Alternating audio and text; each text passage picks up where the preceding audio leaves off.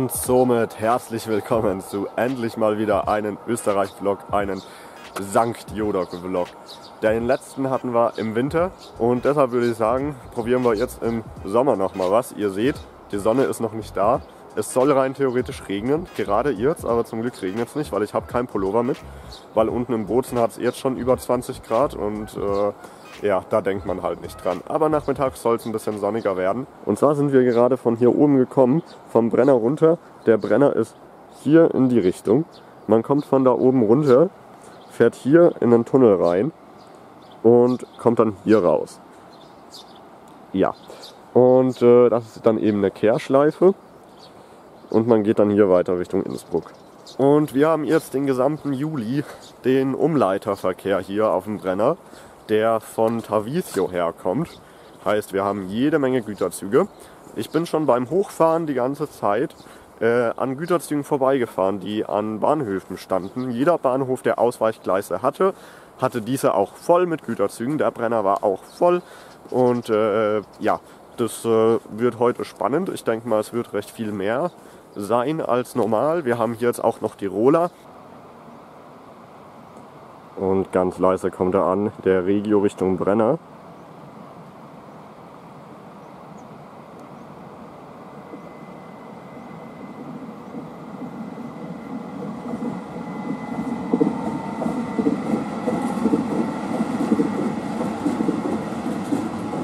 Und man sieht hier echt schön, wie der eine Steigung hinter sich lässt. Beziehungsweise hier diese Steigung. Was das für ein Stück ist. Ja, das hat was. So, jetzt geht's ab. Jetzt haben wir hier unten ein Regio und da oben. Ich weiß jetzt nicht, was das ist. Ich glaube ein Regionalexpress, weil der sollte hier, glaube ich, nicht halten. Jetzt habe ich euch die Spannung aber rausgenommen von der Kurve. Die wollte ich euch eigentlich mit einem Güterzug zeigen, weil es da spektakulärer ist. Aber hier haben wir diese Kurve mit der enormen Steigung.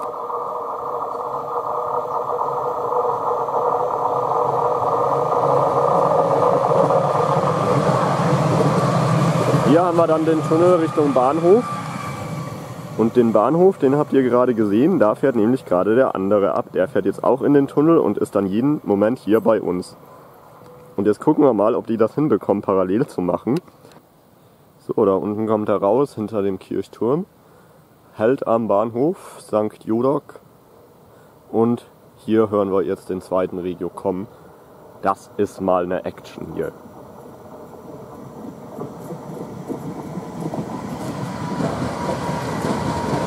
Zwei Regios in einem Bild, alle beide modernisiert.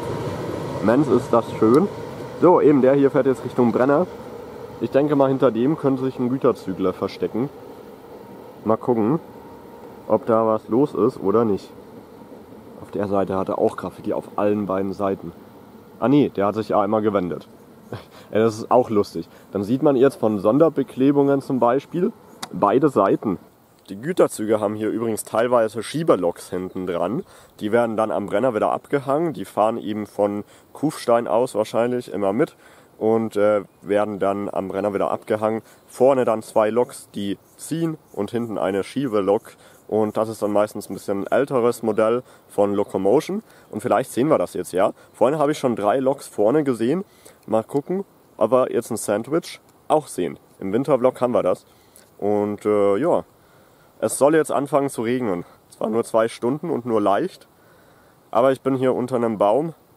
Ich bin für alles gewappnet. Das Signal da unten, das auf der rechten Seite, das ist übrigens immer recht lange grün, äh, da das vermute ich mal einfach nur ein Vorsignal oder ein Signalanzeiger ist. Ich weiß jetzt nicht genau, wie man das nennt, ähm, aber hier wird sozusagen grün beziehungsweise erst wieder orange, sobald der Zug das nächste Signal erreicht hat und nicht bei dem Signal.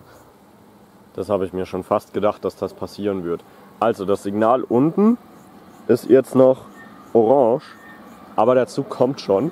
Und ich dachte mir, eins, dass das Tiroler ist und zwei, dass es passiert, dass hier das Signal noch orange ist, während der Zug hier angerollt kommt. Denn das passiert mir immer, wenn ich nicht in Italien bin.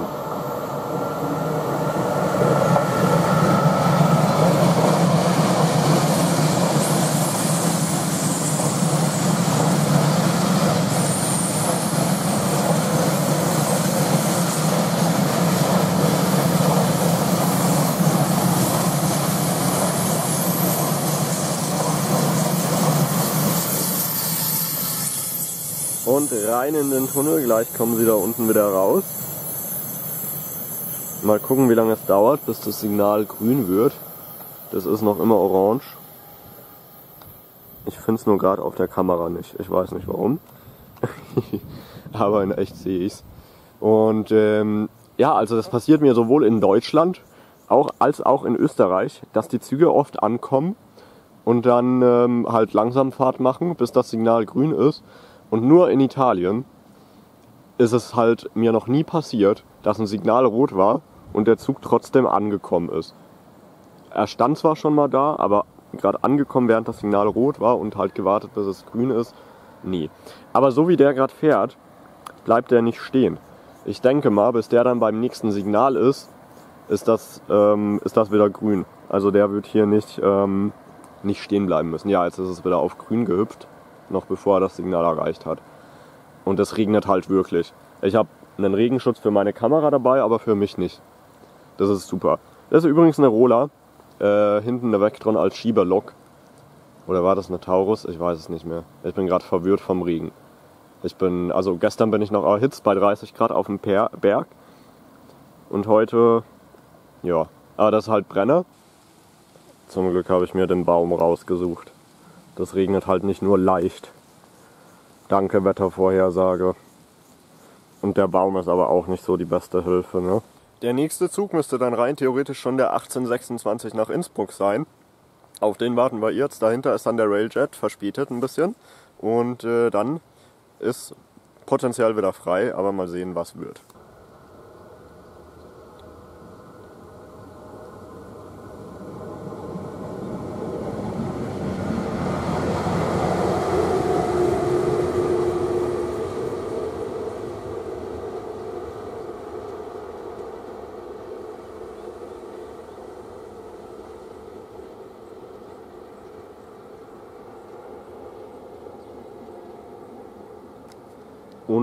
Hoch auf den Brenner. Mittlerweile ist das Signal vom Brenner runter auch schon wieder grün. Jetzt bin ich mal gespannt, ob das dann schon für den 1826 ist ähm, oder ob das dann äh, vorm 1826 ein Güterzug noch ist. Aber da lassen wir uns überraschen. Na, schau mal einer an, wen wir da unten haben. Einen Talent in der Sonderlackierung. Den habe ich doch gern. Es ist nur blöd natürlich, das äh, Zeug aus dem, aus dem Norden, aus Richtung Innsbruck, das kann ich nicht so gut fotografieren, weil hier halt der Tunnel ist, aus dem er rauskommt. Und äh, da kann ich jetzt nicht so wirklich gut fotografieren, da muss ich halt so nachfotografieren. Aber das geht auch irgendwie. Ich mache mich eigentlich gerade bereit für den 1826. Es wäre natürlich schön, aber das wird jetzt so schnell nicht gehen. Der ist jetzt nicht so schnell hier, dass die sich kreuzen weil das wäre halt schon geil, so eine Sonderlackierung, aber naja.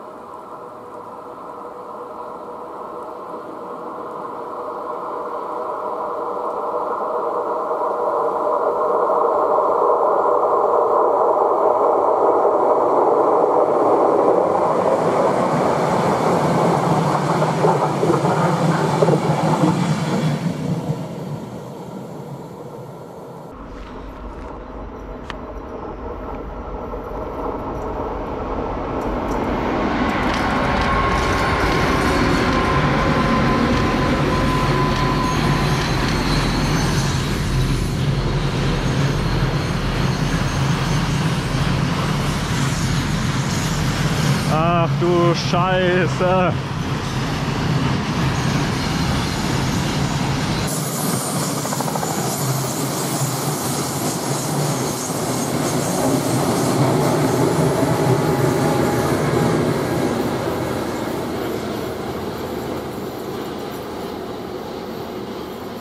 Alter, wie geil ist denn das bitte? Eine L44 an einer Rola. Und das ist Rola. Das heißt, die kommt wahrscheinlich wieder zurück und die werden wir jetzt wahrscheinlich nochmal sehen, weil die andere, die mir entgegengekommen ist mit äh, der Vectron hinten dran, die wir vorhin gesehen haben, die ist auch vorhin auf dem Brenner gestanden. Ich denke mal, das wird die stündliche sein, die nur bis zum Brenner fährt und danach wieder zurück. Heißt, die könnten wir später wieder zurück haben. Die L44 wird zwar nicht vorne sein, weil oben wird ja nicht gewendet. Der fährt ja dann sozusagen rückwärts wieder Richtung Innsbruck bzw. Kufstein oder wo auch immer die hinfährt. Und äh, deshalb wird die nicht vorne sein, aber wir sehen sie zumindest nochmal. Und man hat sie gehört. Man hat unten schon gehört, dass das keine Taurus ist, dass das nichts ist, was normal ist. Und ähm, dann hat sich das mit den, äh, mit den 1826 leider ein bisschen, naja, ich habe ihn zwar fotografiert, aber ich wollte ihn euch eigentlich nachschwenken und unten am Bahnhof zeigen und die Alf 44 konnte ich euch auch unten nicht zeigen. Ah, das ist schön, das ist einfach nur geil. Das freut mich jetzt. So, das Signal unten ist wieder grün Richtung Innsbruck und das heißt, der Railjet ist jetzt dran. Insofern sich nichts davor geschlichen hat. Das kann jetzt natürlich auch passieren, ähm, aber von der Zeit her müsste das schon der Railjet sein. Und äh, der kommt eben jetzt auch wieder von oben, wieder 1826, der ist eigentlich immer dahinter.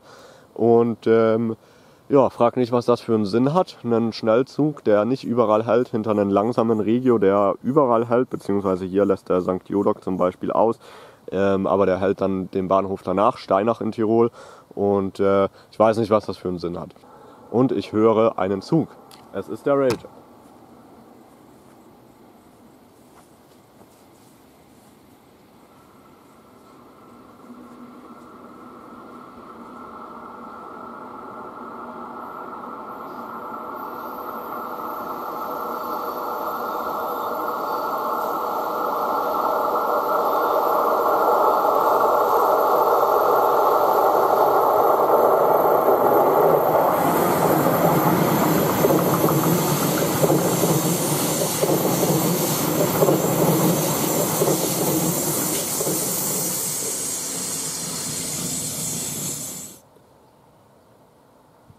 Und da unten ist er wieder, Railjet 184 von Bozen nach Wien Hauptbahnhof mit dem nächsten Halt in Innsbruck. Und hier fährt er gerade durch den Bahnhof. Und wie ihr seht, hinten die Lok. Ähm, sie ist richtig. Sie zeigt richtig. Es ist doch perfekt. Schöner kann ein Railjet nicht aussehen. Außer er ist blau.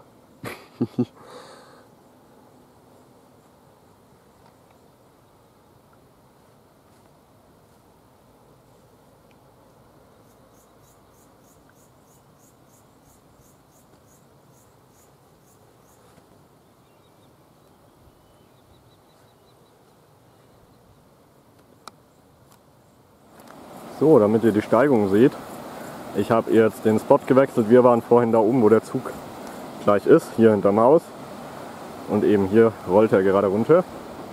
Und hier oben ist die Linie schon wieder. Da ist der Bahnhof.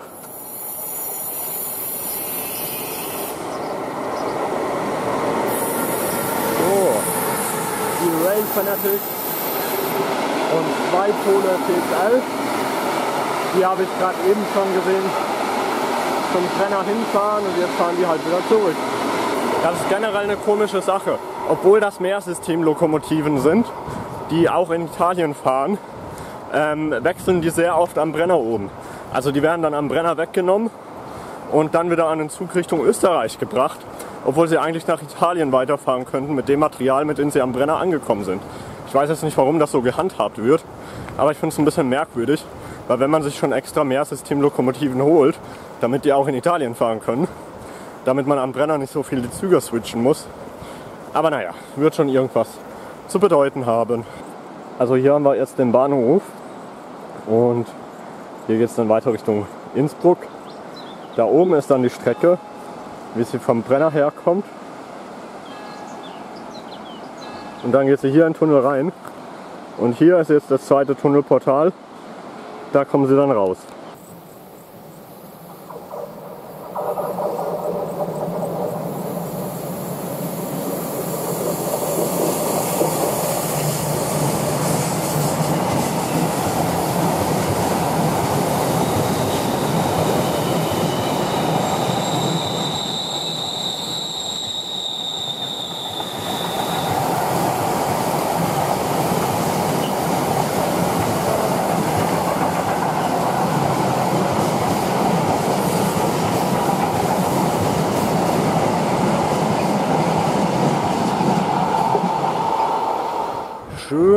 War jetzt einer der Umleiter.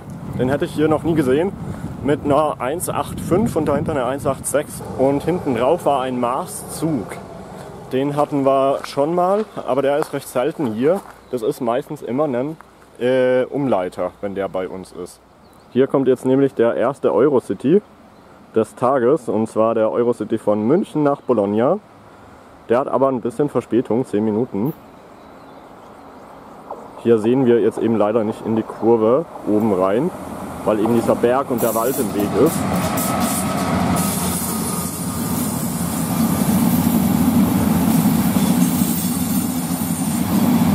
Und eben hier dahinter ist dann der Bahnhof und in die andere Richtung ist dann der Tunnel. Hatte der gerade zwei Fahrradwagen? Ah ne, das eine wird der Bistrowagen gewesen sein.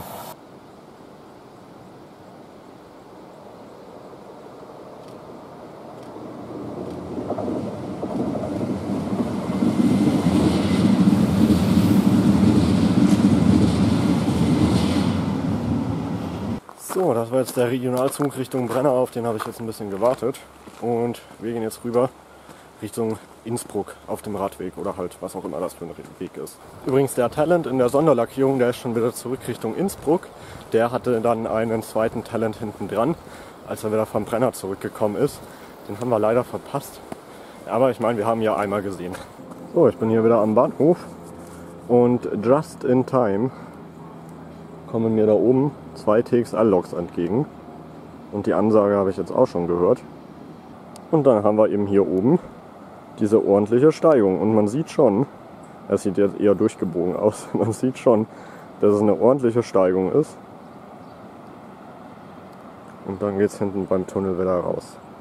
Jetzt bin ich natürlich an der falschen Seite. Die kommen jetzt auf meinem Gleis, aber das geht schon. Der Bahnsteig ist hier ja ein bisschen breiter. Na toll, jetzt fängt es wieder an zu regnen. Ach Gott.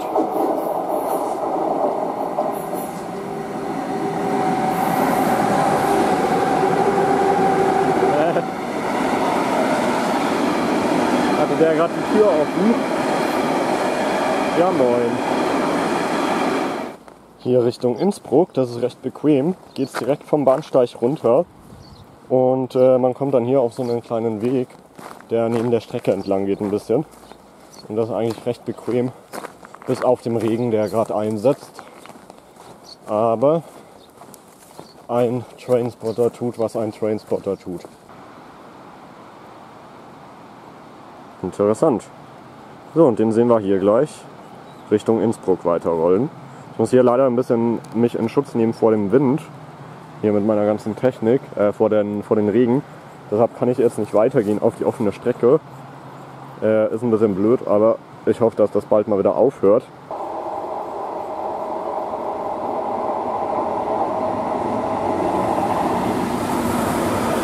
Und das könnte jetzt die Taurus sein, die wir vorhin äh, als Lokzug hatten.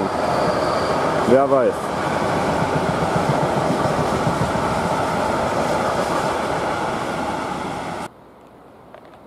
Oh Gott, bin ich ein Dulli.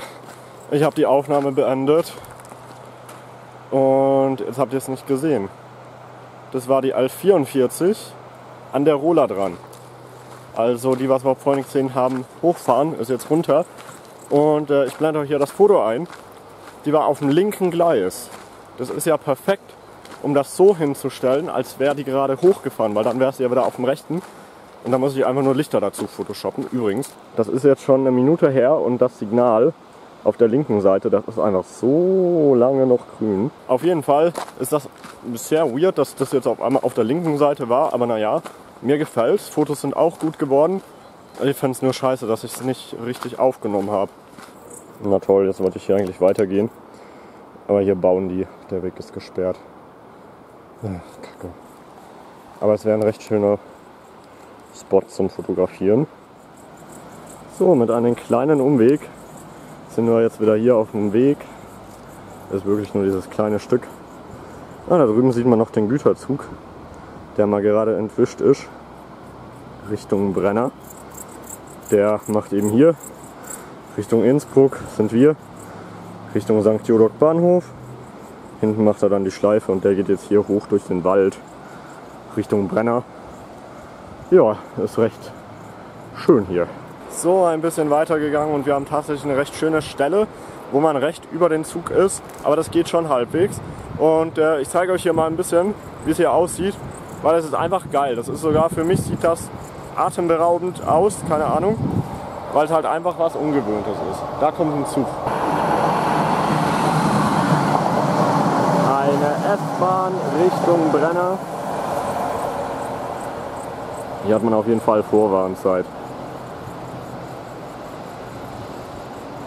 So, und die macht jetzt Halt in St. Jodok und dann fährt die hier über diesen Berg zum Brenner.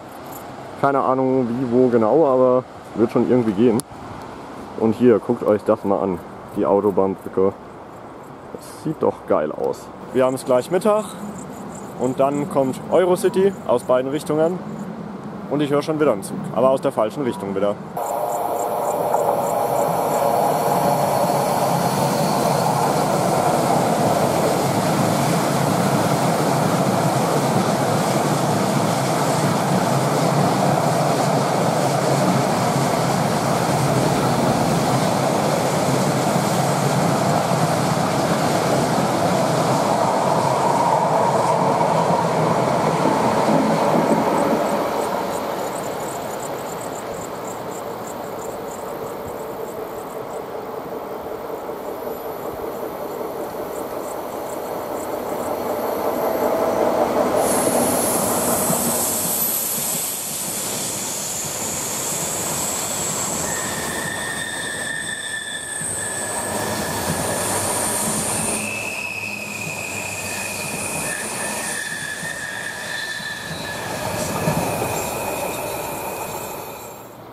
Ich bin jetzt zwei, drei Schritte weiter gegangen.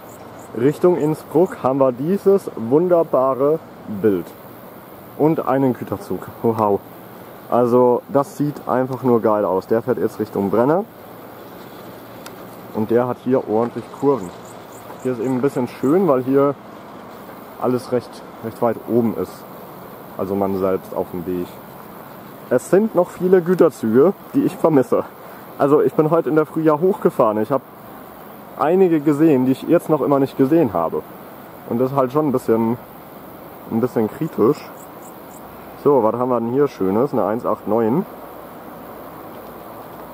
mit einem vollen Autozug. Das ah, sieht schon geil aus.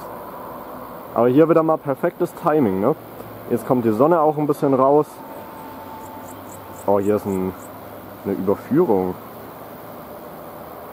Denkt ihr, das ist ein Aquadukt und man kann da nicht drauf? Oder denkt ihr, das ist... Also da ist ein Weg auf allen beiden Seiten. Ich glaube, ich gehe da mal hin. Das sieht ja geil aus.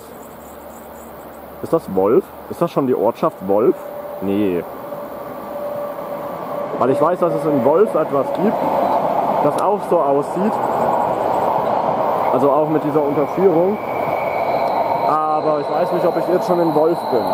Hier geht es dann eben weiter hinter diesen beiden Häusern ist eben diese Kurve, in der wir gerade standen. So, ich gehe jetzt mal weiter gucken, das hat mich neugierig gemacht. Also hier muss man halt auch einfach anhalten. Alter, sieht das geil aus. Da haben wir es. Einen Güterzug. Der sieht auch aus, als wäre es ein umgeleiteter. Ähm, weil ich die Wagen mh, hm, also Kesselwagen haben wir hier normalerweise von einer anderen Firma. Deshalb bin ich mir jetzt gerade nicht sicher. Vor allem der ist ein bisschen, also von hier aus sieht er ein bisschen kürzer aus. Ich weiß jetzt nicht, ob der wirklich kürzer ist oder das einfach nur die Distanz ausmacht. Ähm, und Tavisio drüben, äh, um darauf zurückzukommen, da sind sehr viele Güterzüge von der ÖBB. Also da hat man wirklich sehr viel ÖBB. Und äh, deshalb ja, das könnte ruhig einer von dort sein. So, der macht da ein bisschen, ein bisschen langsam. Ich habe mal nachgeguckt, ja, wir sind schon in Wolf. Also das ist halt schon eine Nummer, diese Autobahn. Die macht mich fertig. Diese Brücken und diese ganzen Konstrukte so hoch, das hat was. Eurocity kommt jeden Moment. Jetzt haben wir es 11.40 Uhr, um 12 Uhr ist der am Brenner. Ich habe jetzt nie genau die Zeit gemessen, wie lange so ein Zug braucht auf dem Brenner hoch. Aber mehr als 20 Minuten sollten das eigentlich nicht sein.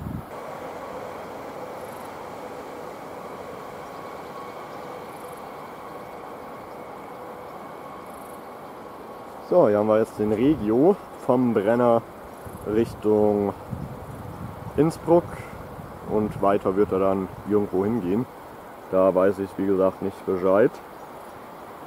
Sehr schön. Der Eurocity meldet sich jedoch nicht. Ich hoffe jetzt so auf den Eurocity, aber am Ende hat er nicht mal irgendwas Besonderes dran. Und äh, ja, aber Hauptsache ich bekomme irgendwas aus der Richtung.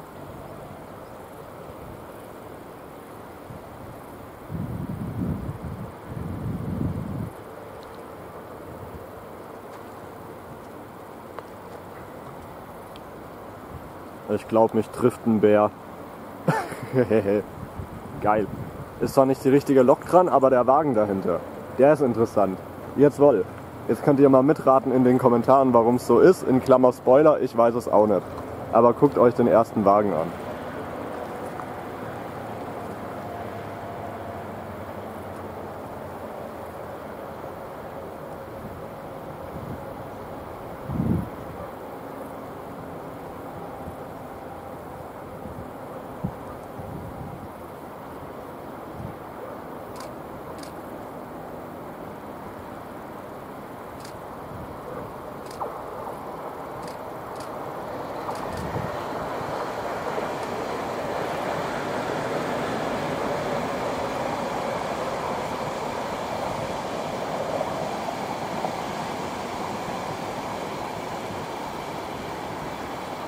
Also ich vermute ja, dass der Nightjet-Wagen einfach dran ist, weil irgendein normaler Wagen ausgefallen ist oder die einen zu wenig haben.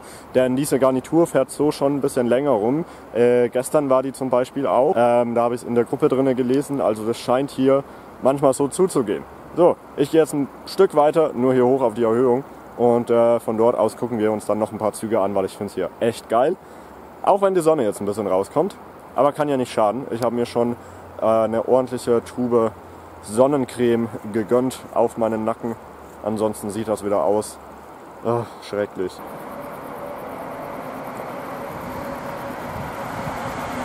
Oh, mal etwas anderes. Eine Locomotion 189 und dahinter eine Vectron Richtung Innsbruck. Ich sag immer Richtung Innsbruck, aber die werden wahrscheinlich alle die Umfahrung nehmen. Richtung Kufstein bzw. Deutschland. Aber sehr schön, mal etwas anderes zu sehen. Auf jeden Fall. So, ich weiß jetzt nicht. Ähm, ich werde es wahrscheinlich nicht rechtzeitig schaffen. Ähm, obwohl, nee, auf welcher Seite waren die Al 44? Ah, nee, die Al 44 von der Rola. Die müsste ja zu uns her schauen jetzt. Also Richtung Brenner ist die ja gewesen dann könnte man eigentlich hier bleiben und auf die warten. Ich weiß jetzt nur nicht, wann die kommt, ob die jetzt nächste Stunde oder übernächste Stunde oder wie das genau abgeht. So guckt der Güterzug so lang, dass man den sogar auf den nicht warten musste. Ich dachte, da unten ist die Gleisanlage. Hä? Jetzt bin ich verwirrt. Was ist denn hier passiert? Da unten ist eine Gleisanlage. Oder sehe ich das falsch? Und da oben ist der Zug. Was ist denn hier passiert? Also das Ah, das wird ein Anschlussbahnhof sein oder irgendein Anschlusspunkt. Das ist mal verwirrend. Hilfe Gott. Aber schön der Zug. So. Und jetzt geht's weiter mit Warten. Hier krabbeln übrigens schon wieder überall solche Viecher rum. Das ist hier immer sehr unterhaltsam. Und ein Doppelpack von 186 Railpool und Locomotion mit einem leeren Zug.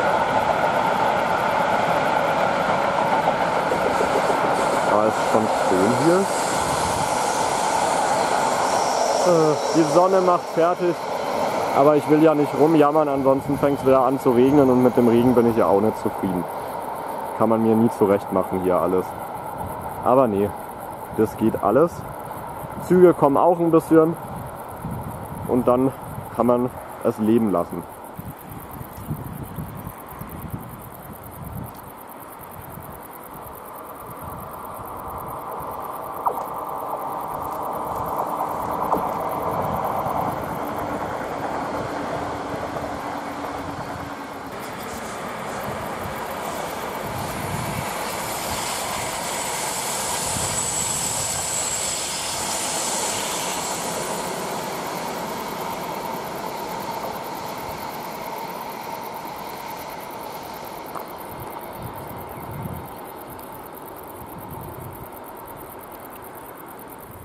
Und genau deshalb habe ich Vertrauensprobleme, was Google Maps angeht.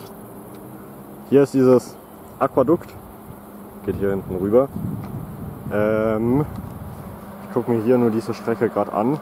Das hier ist jetzt Richtung Brenner. Da oben auf dem Weg standen wir gerade eben.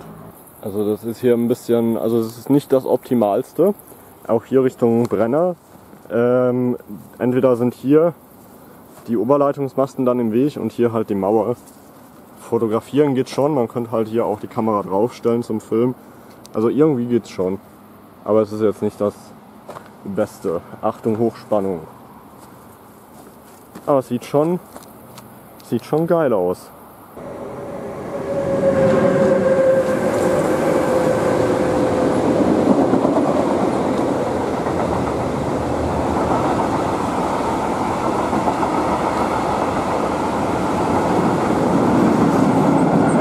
Und nochmal ein Autozug mit Locomotion 189 und dahinter eine 186 Railpool. Ich warte jetzt eigentlich auf die L44, weil ich Hoffnung habe, dass die jetzt mit ihrer Rola kommt aus Richtung Innsbruck. Ähm, aber ich weiß nicht, ob die jetzt kommt oder nicht. Mit der Sonne kommt der Wind. Ich bin jetzt ein bisschen weiter Richtung Steinach, Innsbruck. Und hier habe ich dieses, äh, diese Verladerampe gesehen. Die ist wirklich, also das ist wirklich irgendwas zum Verladen. Das geht hier auf dem Gelände. Finde ich recht cool. Ich weiß jetzt nicht genau, wo ich hingelaufen bin, aber ich glaube, das ist Steinach. Ich bin mir nicht sicher, da müsste irgendwo ein Bahnhof sein. Den gehe ich erstmal suchen. Und daneben ist ein Supermarkt. Und den gehe ich noch dringender suchen. Hier übrigens Padastertal. Und irgendwo hier verläuft dann der Brenner Basistunnel durch. Richtung St. Jodok, wo wir auch herkommen. Oder unten ist ein Güterzug. Ja.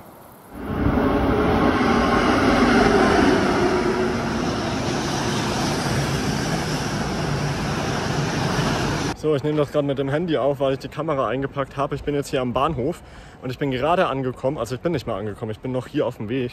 Und äh, in dem Moment rauscht die L44 mit ihrer Roller rüber. Gut, dass ich nicht gewartet hätte, weil sonst müsste ich jetzt noch warten. Und das ist jetzt eine Dreiviertelstunde vergangen. Ich bin jetzt hier am Bahnhof. Hinter mir steht die S-Bahn nach Halle in Tirol.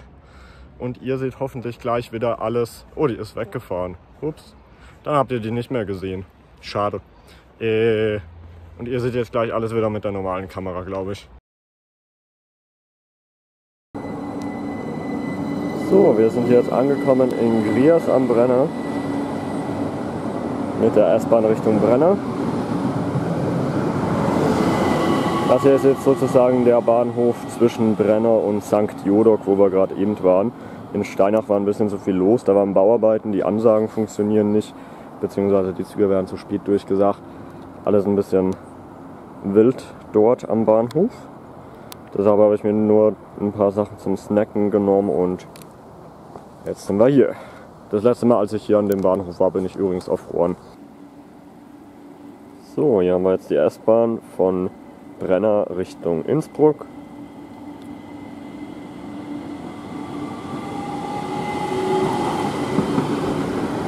Mit Ende in Wörgl. In dieser S-Bahnen die enden immer unterschiedlich. Manche bis Hochfilzen, manche bis Innsbruck, manche bis Kufstein, manche bis Wörgl.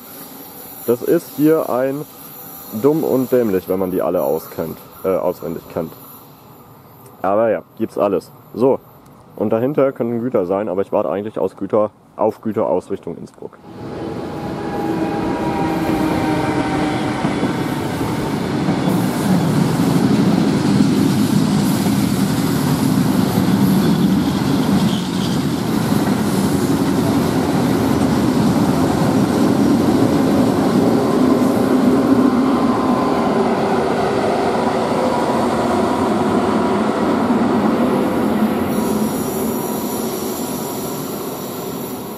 Ja, nice. Daran habe ich gerade null gedacht, aber das war ja logisch, dass sie auch nochmal zurückkommt. Die Rola mit der L44 hinten dran.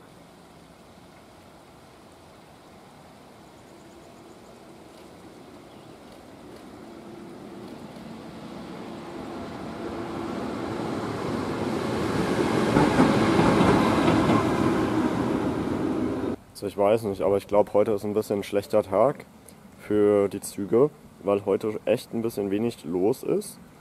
Ich habe halt die letzten Tage immer in der Gruppe mitgelesen, da war mehr los.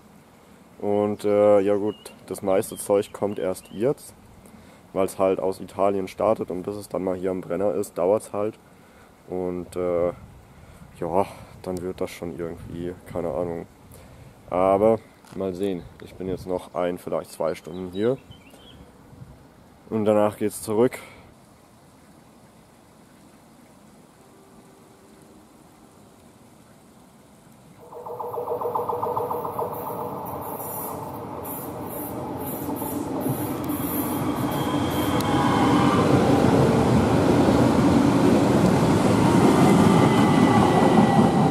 Eine Stunde vergangen, der nächste Regio Richtung Brenner. Oh Gott ey. Ja, es kam die letzte halbe Stunde knapp nichts an Gütern. Mal gucken, ob hinterm Regio irgendwas ist. Äh, naja. Jetzt bin ich mal gespannt. Rein theoretisch müsste der ja gleich wieder zurückkommen. Es ist ja, der ist ja in 10 Minuten nicht mal am Brenner drüben. Also gerade will irgendwie nichts kommen. Hinterm Regio ist nichts. Vom Brenner runter kommt nichts. Ich weiß auch nicht. Macht mich so langsam ein bisschen. Uh.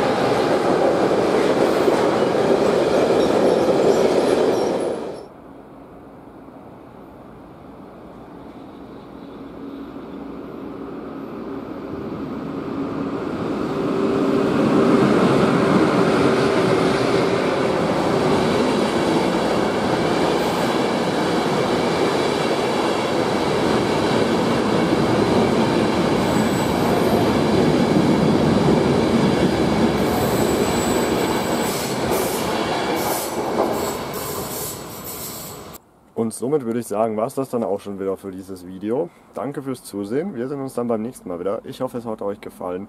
Bis dahin, macht's gut und ciao. Wow. Wow. Wow. Wow. Wow.